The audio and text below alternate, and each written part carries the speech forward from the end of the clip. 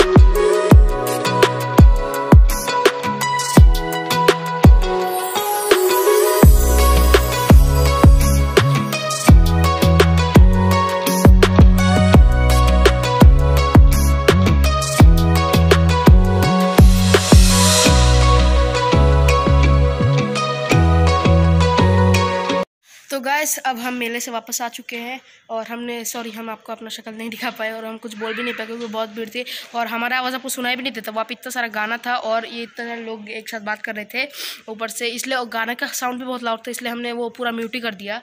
और hope you enjoy the video make sure like and subscribe and leave a beautiful comment हम अभी आगे घर पे चेंज करके दोबारा बाय बाय